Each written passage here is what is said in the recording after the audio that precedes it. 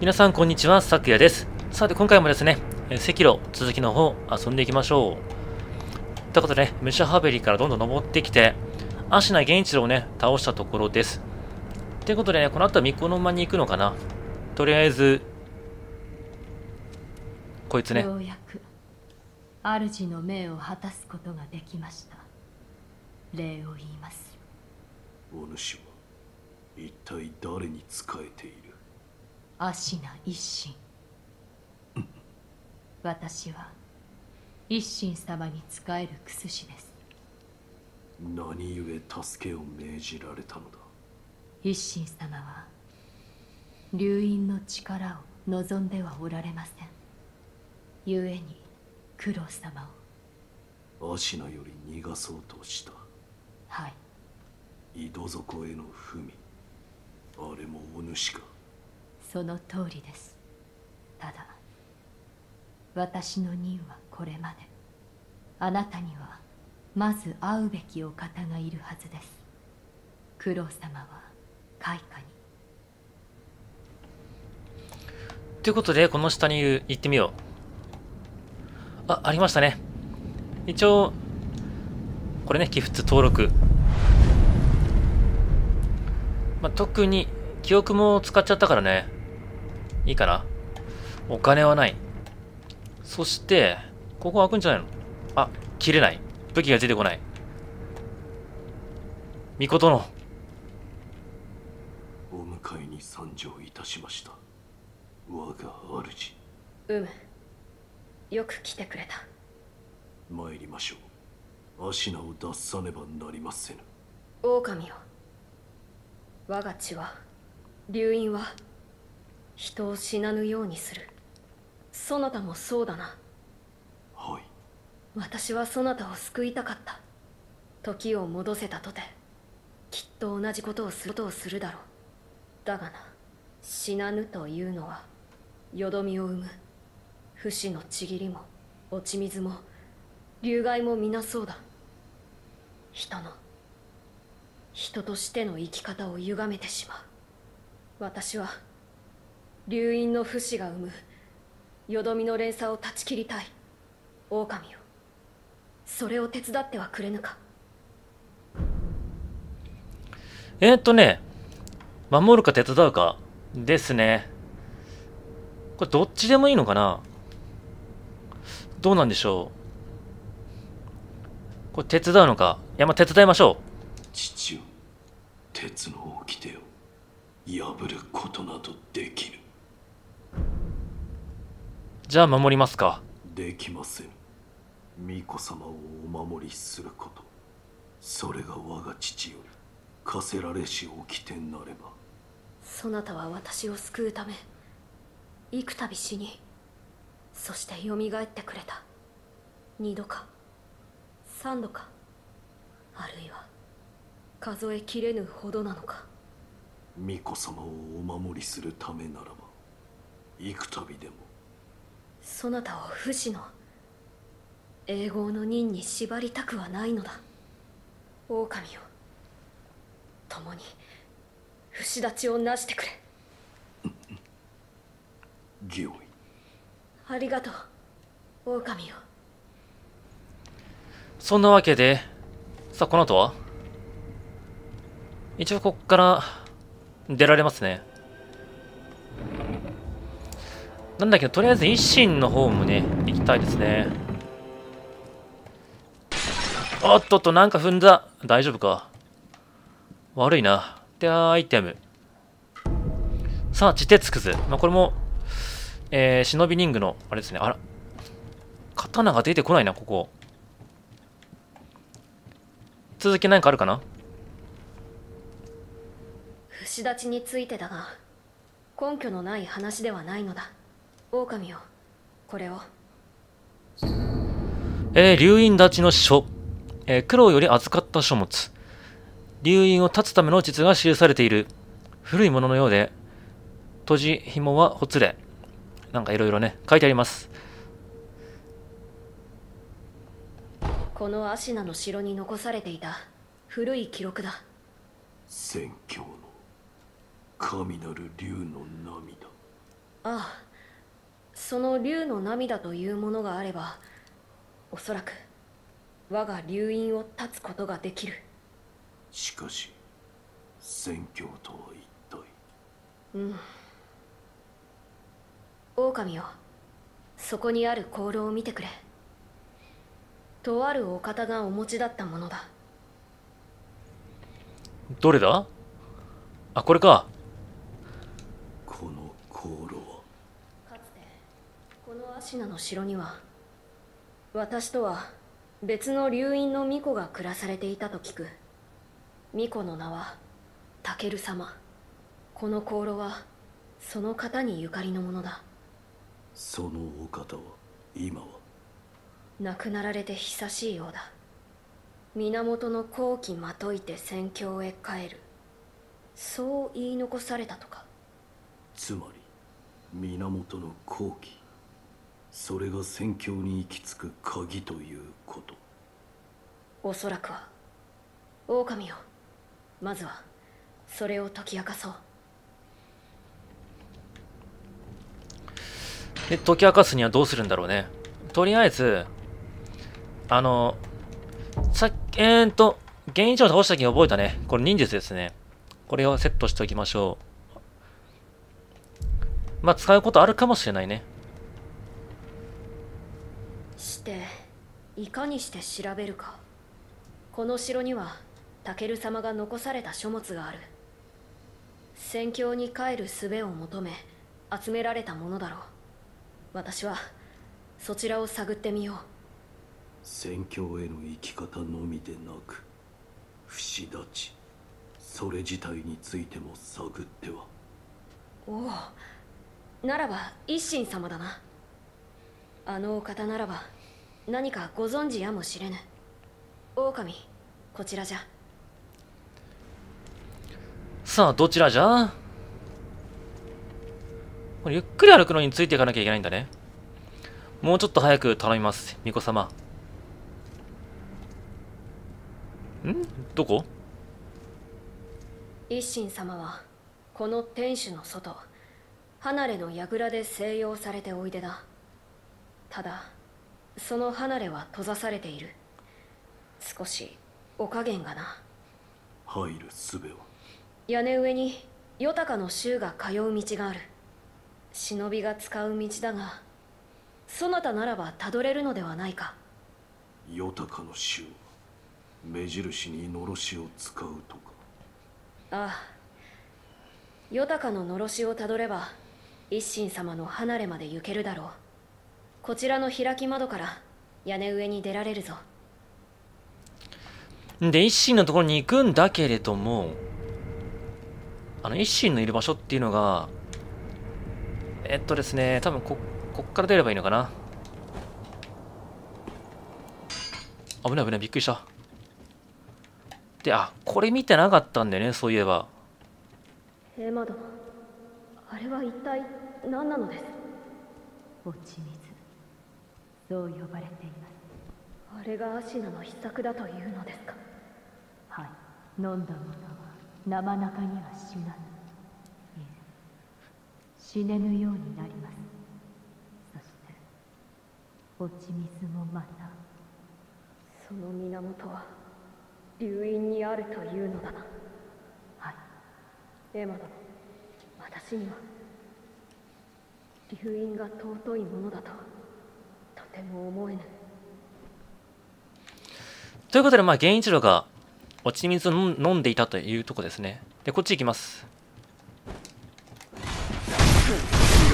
危ない危ないあ、ちょ、痛い痛い痛い。でこっちにダッシュして、ヨタカのシューってやつですね、これ。ウナタン。で、眼薬取って、ダッシュしていくと。さあ、これが一心だな。さんええおう伺いたいことその前に先じゃ褒美に取っとけさあ、ドブロックいただきました。落ち水に見入られた我が孫源一郎よくあれを止めてくれた礼を言うぞ我が父の掟に従ったまで。忍びの掟か。なるほど。お主フクロウのせがれか。あの国取り戦で拾われたわらしよはな巡ってここに至るか。人の絵にしとはつくづく面白いそうは思わぬかのう赤色よあなたはしてそのお主が何を知りたい？で、おそらくなんですけども、あの、5つ目のね、天狗がこいつですね。天狗のお面かぶったやつが、おそらく一心ではないかと思います。ドブロクあげます。これをお主わしのやった酒をわしに飲めというのか。気に入った。もらおう。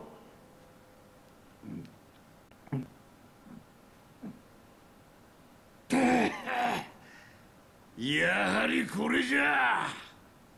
時にお主源一郎はどうじゃった？どうと刃を交えたのじゃろう。ただ強かった。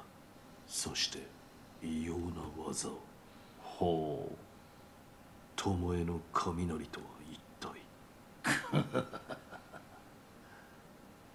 それはのう源一郎の死の技じゃ。なかなかに面白かったであろう。死とは？巴あれほどの使い手はそうはおらぬまるで舞のようにあの女は戦う。あやつの瞳を覗いておると皆そこに引き込まれるような心地がしたものよ。見惚れて切られそうになるなどこの一心長く生きたがあのひとたびのみじゃ。で、不死立ちについて聞いてみましょう。巫女様の目指す不死立ちその鍵となるもの。を不思議。り不思議りならばあるいは鍵となるやもしれん不思議。り尋常な術では死なぬ者すら殺す。それゆえにな死なぬものと虫つきとか言ったかのわしも見たことはないが真の像を貫こうが首を落とそうが死なぬというぞ。まことであれば恐るべきことよな。そういった化け物すら殺す。それが不思議りよ。まあ、いましたよね。千宝寺の、あの、中に虫が入ったやつね。あれを倒せるのが不死立ちってことで、不思議ってことでしょうね。不思議りはいずこに。千宝寺にあると聞く。ただ不思議りは抜けぬというぞ。抜けぬとは。ただそう伝わっておるのよだが今やあの寺は門を閉ざしておる。生草どもめお山にこもり何をしておるかは知らぬがまともな道などつながっておらぬのよ。ということですね。行くか赤炉。不死立ち。それもまた戦よそして戦では関わる者の願いやら企てやらが渦を巻きおる。迷えばその渦に飲まれ戦に敗れる。そうじゃ。肝に銘じておくがいい。赤炉よ。迷えば破れるぞ。ということで、あ、こっから入れたんだ、普通に。普通に中通ってこなくても。ね。こっちの方が早かったですね。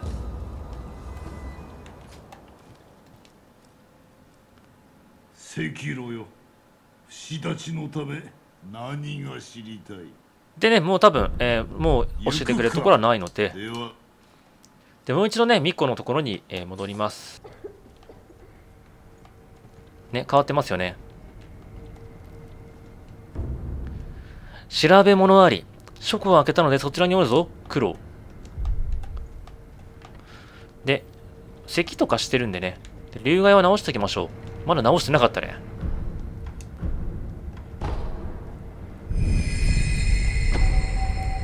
さすがに死にすぎた。さあこれでねみんな回復しましたよ。どうですか？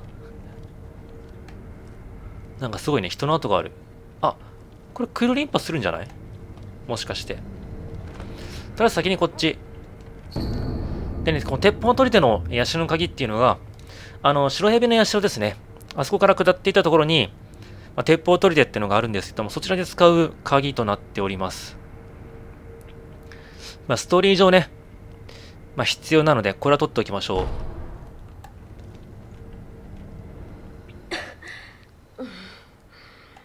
誇りがひどいな。戻りましてございます。おお戻ったか狼。一心様とは会えたか。はい。不思議にならば鍵になりうるやもしれぬ。そう仰せでした。不思議。り先方寺にある。死なぬ者を切る刀とか。なるほど。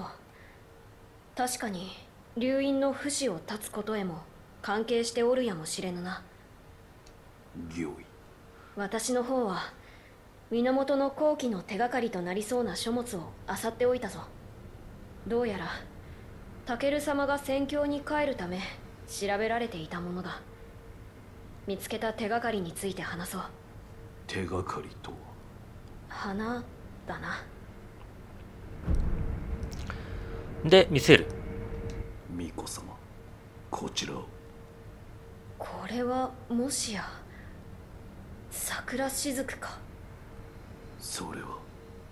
流院の不死の契約がならざる時引き換えに残るものという。タケル様が残されたものでしょうか？であろうな。狼よもし望むのならばこの桜しずくもまたそなたの力としよで、この桜しずくっていうのがあると、えーまあ、あの復活できる回数が増えます。渡しますね。ありがたく。う分かった。目を閉じてくれ。はタケル様の流院もまたそなたと共に生きるのだ。頂戴いたします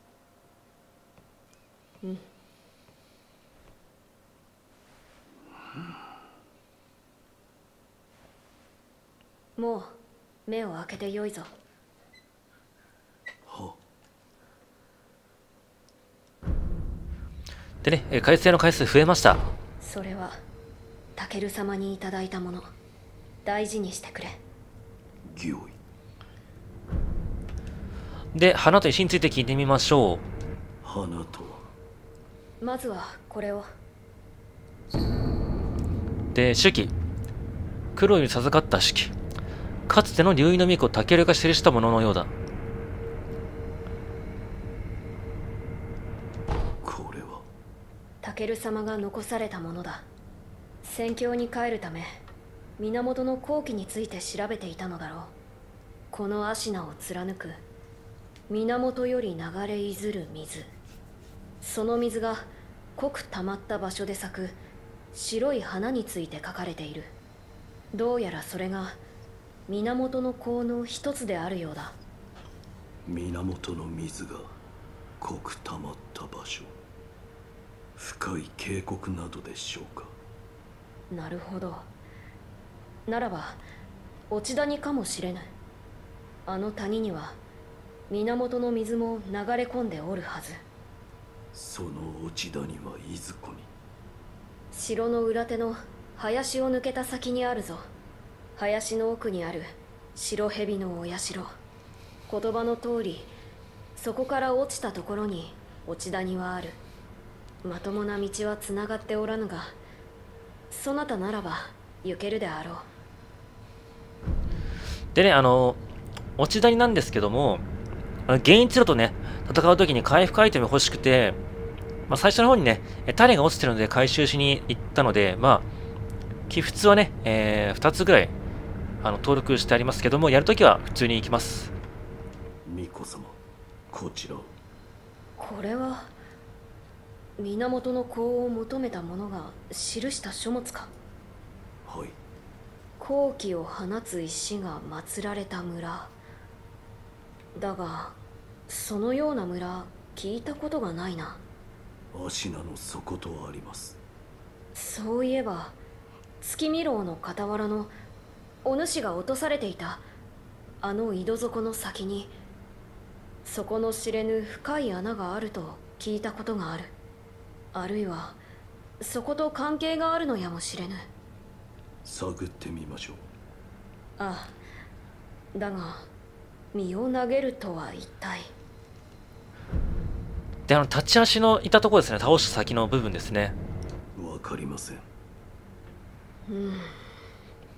確かによくわからぬ思い当たる場所がないか。探ってくれるか。は。は御意ということでそういえば、はい、またか。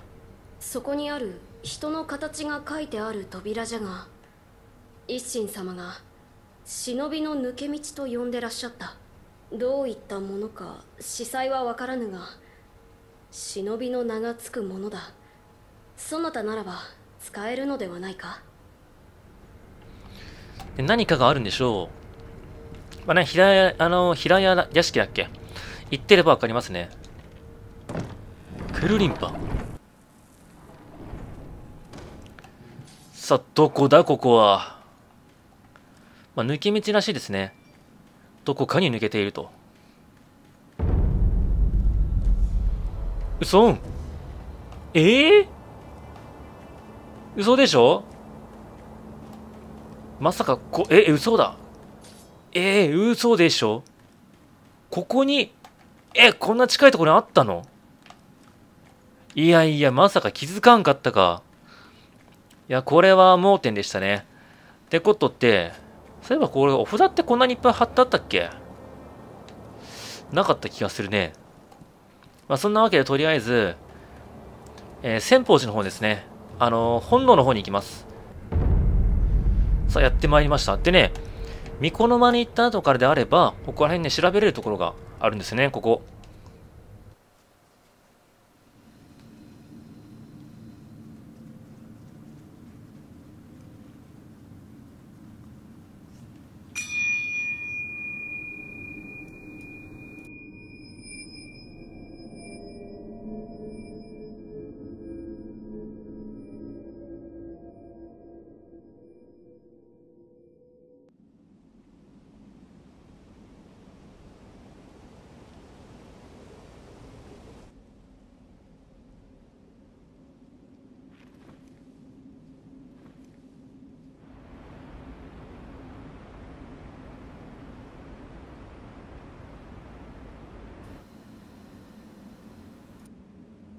猿が3匹。一つは空か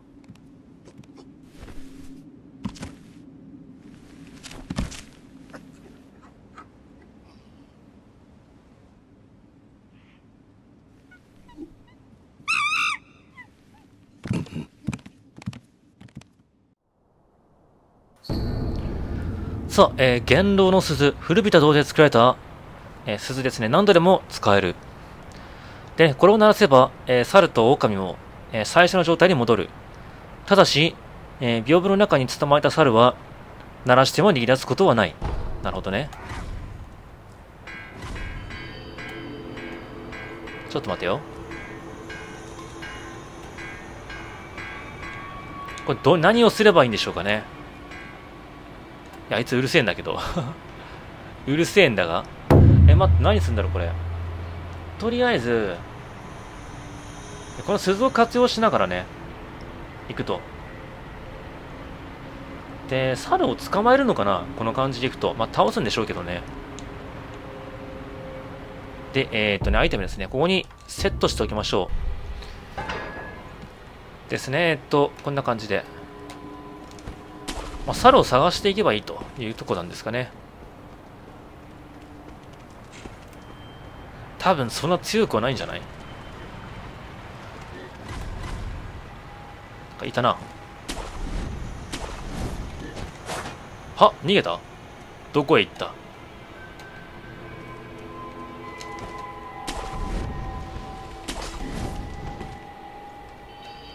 これ違うんか？あいたいたいたいた。なるほどああやって追い詰めていけばいいのか。でね居場所が分からなくなったら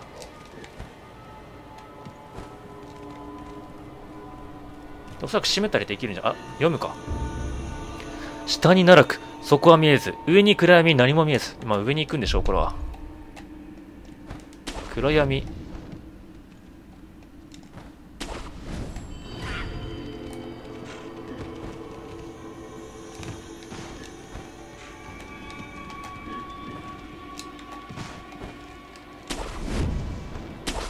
追いつくぞ俺。あなんかまだいるね。さあ倒した。で？これ猿見失ったな、まあ、とりあえず一匹倒しましたけど。んん？ん？あぶねまあうまくガードできたけどさあこの猿がよくわからんですね。一体何をすればいいのか。謎解きなんだけどすごく。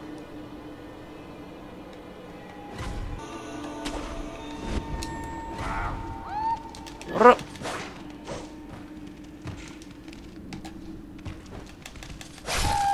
死ねえこらってことで一人撃破。さああと2体かなおそらく。足音は聞こえるんだよな。さあいろいろ。探検。とりあえず探検してみようか。まあ猿そんな強くなくてよかったね。これ足跡か何か？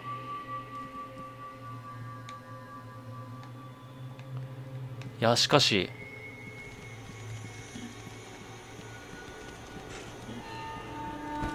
まあ、とりあえずこれヒントだと思うんで読んでおきましょう。この鐘は耳鳴るし耳つぶし緑に鳴らせば耳も鳴る。鳴らしてみるか。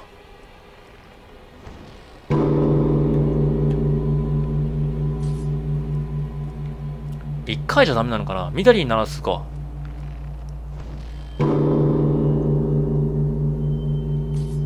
ダメだね。特に変化なし。いた。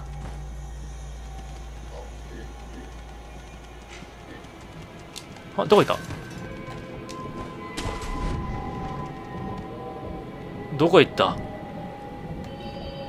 今いたよなここにな。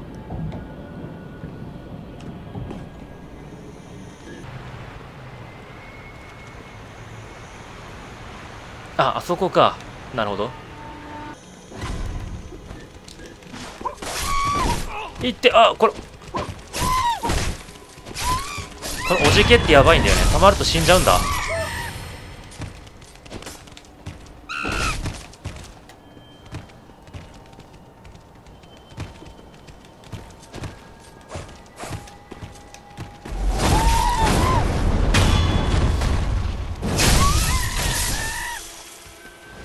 さああとは？ここにいった本体はどこ行った？本体。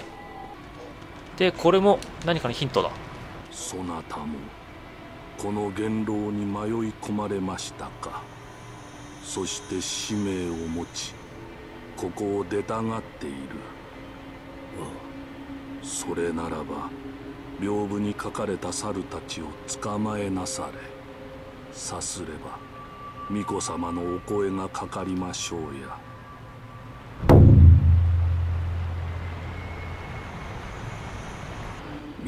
着物の猿は菊猿です。耳がよく遠くまでよく聞こえよく気がつく。尋常なら近づく前に音に気づかれ逃げられてしまうでしょう。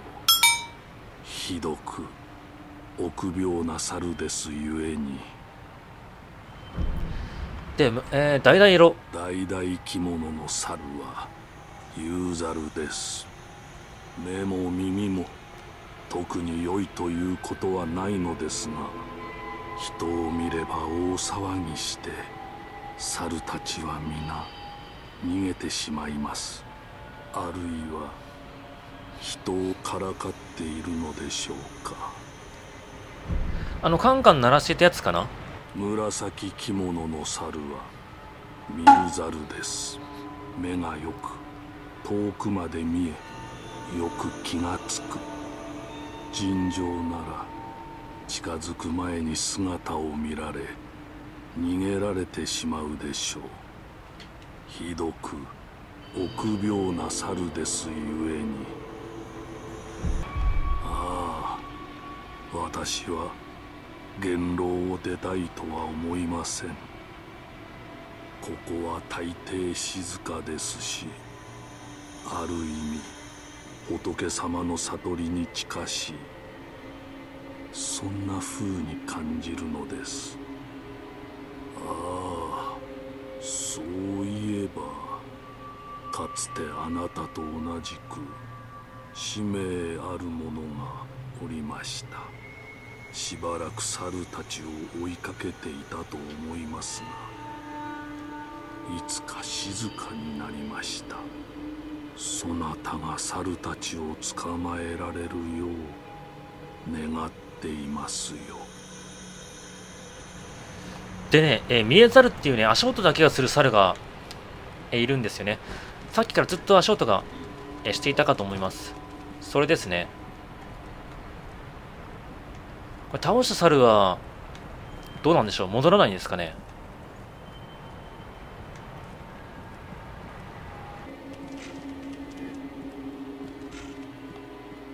いや、どこにいるんだろう、猿。見えないからさ。あ、でもあったよね。この足跡。ここにいるんじゃないの？これ。いるんじゃないか説ね。さっき違うところに足跡あったもんね。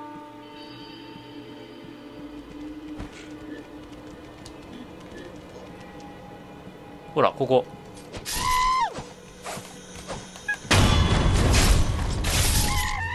さあ、倒しました。見えざる。そういうことか。この足跡ね。さあ、ラスト 1, 1体ですね。あと1分残したやつなんだろうわからん。何色か分かればね、もうちょっともう一回攻略の仕方が分かるんじゃないかなと。待って待って、あ、ちょちょちょ、危ない。あと本体どこ行った？本体。え、ちょっと待ってね。この攻撃してくるやつは、えー、っと、他の、橙色か。本体がわからん。あ、ちょちょちょちょ、なにこれ。おじけはまずいって。ほらこれ原油出してくるんだよな。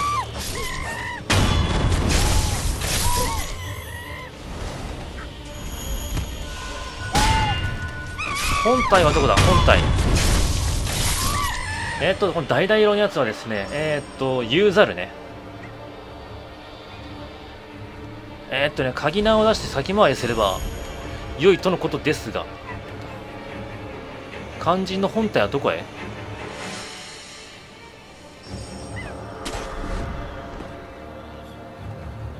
かしあの猿ね、逃げる場所がわからんのよね。逃げる場所さえ分かっていれば、あどこ行った？どこ行った？本体どこ行った？だから本体。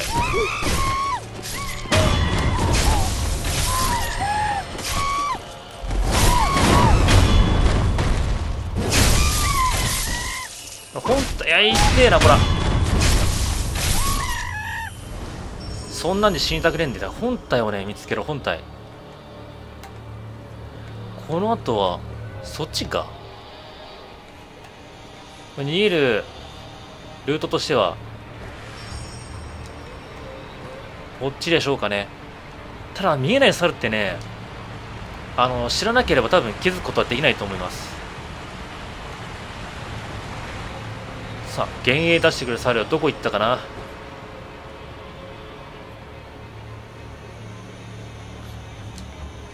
だって見えない猿のヒントくれなかったでしょ？あれは分からないですね。ここに戻ってくるんじゃねえかな？いやでも鈴鳴らして大丈夫また戻ってこない。リセットされないですかね？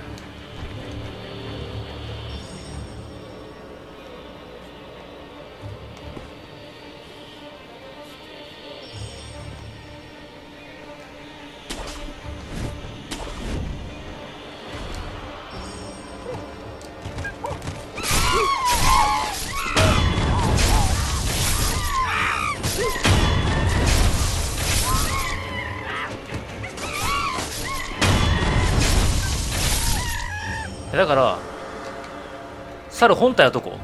見見当たらなかったけど。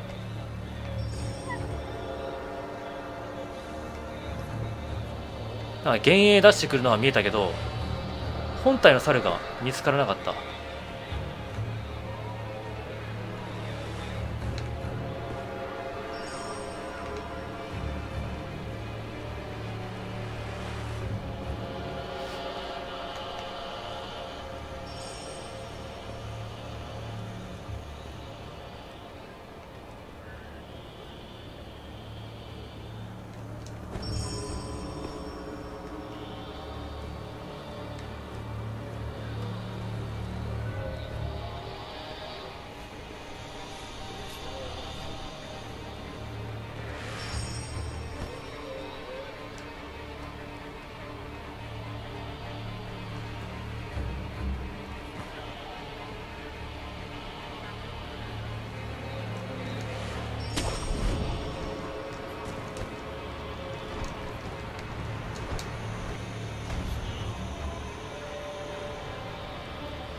すまん落ちたで。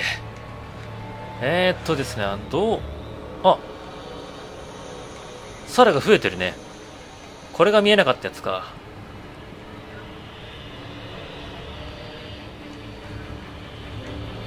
あとはこの橙色のやつな。どこ行ったやら。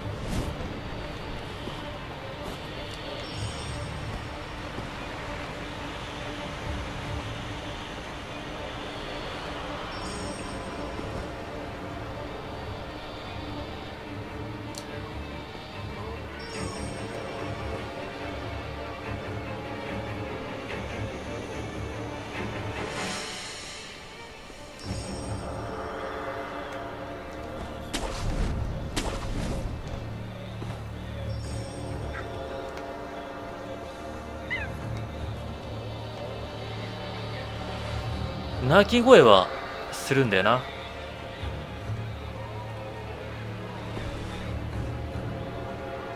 痛い痛い。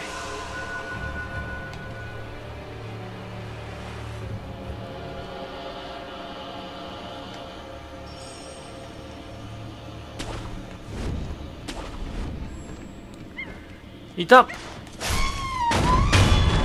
お前か。さあ忍殺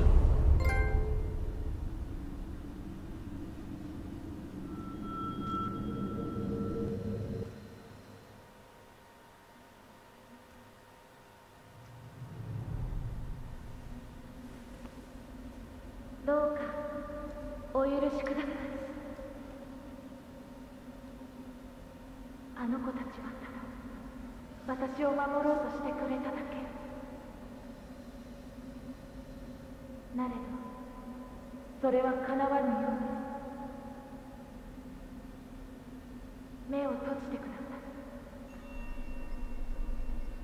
い奥の院にて終わりいたしましょう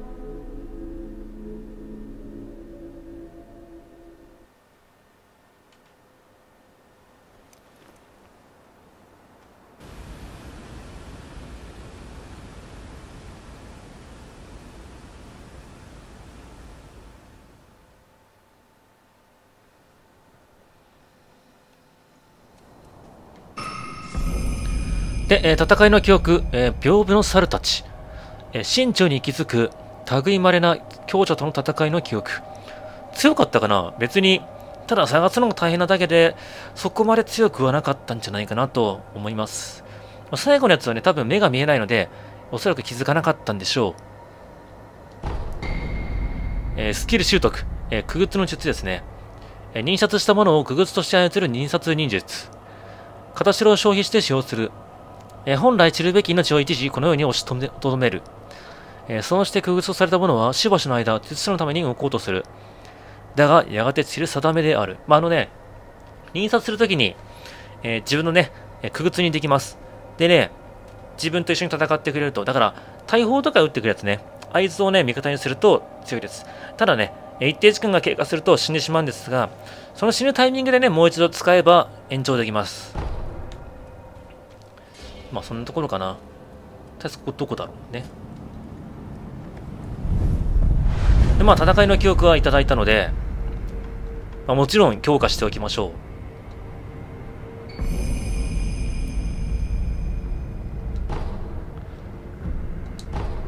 さあ、えー攻め力5ですね。で、ここ多分まず先方落ちだと思うんですけど、さあ、お前が巫女様ですね。何故参られたのですか？不思議りを求めに。抜けぬ刀とご存知か？あ抜けぬとは抜いて帰った者がおらぬということ。それでも試されるのですか？まあ、もちろんここまで来たからにはね、えー抜いて帰らないといけないでしょうね。抜き抜き。抜こそうですか。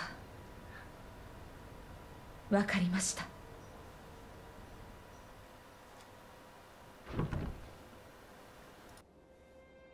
覚悟が終わりならば改められよ。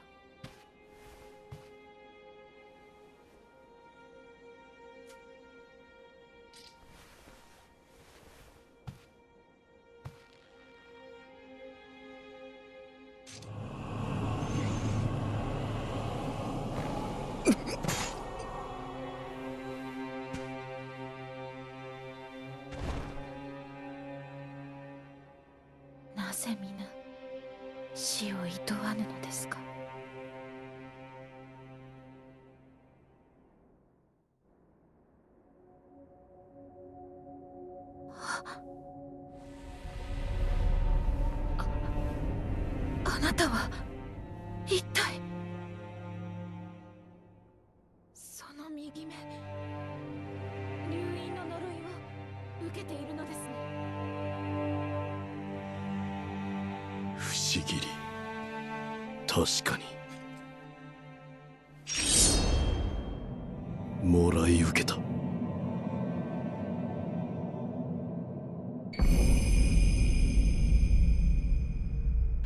ということでね、不思議りをいただきました。えー死なぬ者さえ殺す大立ち。でね、これ結構ね、リーチが長いんでいいんですよね。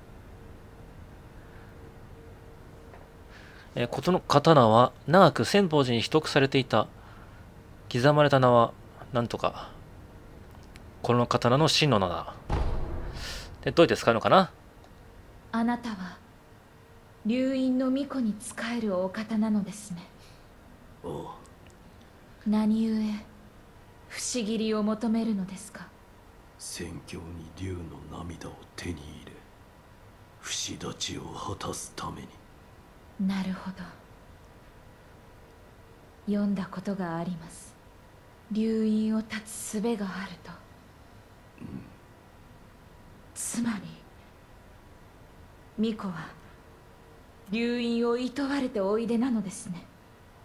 そうだ巡り合わせとはいいなものですね。私は越智の巫女たちの一人死なずの愚道者たちが作り上げた偽りの流因を持つものです。巫女たちとは？まともに育ったのは私だけ。他の皆はここに眠っています。そうか不死を断つことが正しいのかは分かりません。なれど流因が人の生き方を歪める。それを憎むのは私も同じ。巫女の忍びよ。私もあなたの一助となりましょう。お手を。なんだ？北条を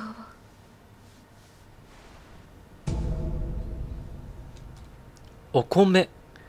えー、落ちのみこの手のひらにより、こぼれ落ちたお米。一定時間、HP がゆっくりと、えー、中回復する。あ、眼薬の、まあ、上位互換ですかね。偽りなれど、流因の力、その地は、往生をもたらす。お米は大事。噛めば噛むほど甘くなり、元気も出るだろう。これは米かはいお米は大事と存じます噛めば噛むほど甘くなり元気も出ましょう急に何を言うんだ、こいつは。巫女の忍びよようこそおいでくださいましたさあ、えー、お米を、あ、なんかこれあるね。賞を渡す。はい。受け取れそれは？お主に渡してくれと頼まれたありがとうございます受け取りますどうした？私はあの人たちをまだどうしようもなく憎んでいるのですいつ預かったっけ、あれ？わかんないな。お米を授かる。すみません巫女の忍びよお米がまだ実っておらぬのですまた北条の頃にお授けしましょうそれは具体的にはいつなんでしょうかね。さようなら巫女の忍びよあなたの行く末に豊かな実りのあらんことをということで、あの、不思議りをどうやって使うかですね。ここかなあったね。奥義不思議り。これも、ああ、そういうことか。まあ、試してみたいですね。まあ、これセットしておいても、ああ、結構使わないでもね。まああの、サラを倒すときに、えー使うでしょう。で、くる、くぐつね。これありがたい。あ、特にアイテムとかなければいいんですよね。一応探索してみて、何もなければカット。あ、アイテムあった。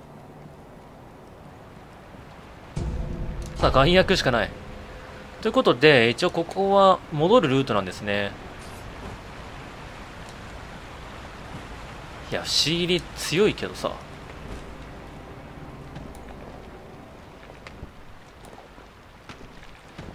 もう出てきちゃったもん、中身が。で、多分ここ本堂なんでしょう。ね、やっぱりね。まあ、そんなわけで、えっ、ー、と、次回、まあ、今回ここで終わりにしてね、まあ、キリがいいので終わりにして、次回ですね、えー、落ち谷に行くのか、もしくは、まあ、アシナの底の方ですね。まあ、どっちに行くかですね。まあ、ちょっと今決めてないんですけどね、次回までに決めてやっていきたいと思います。ってことでね、今回はこれにして、また次回遊んでいきたいと思います。よかったらぜひね、コメント評価、チャンネル登録よろしくお願いします。ではね、また次回の席のでお会いしましょう。今回は、この辺で。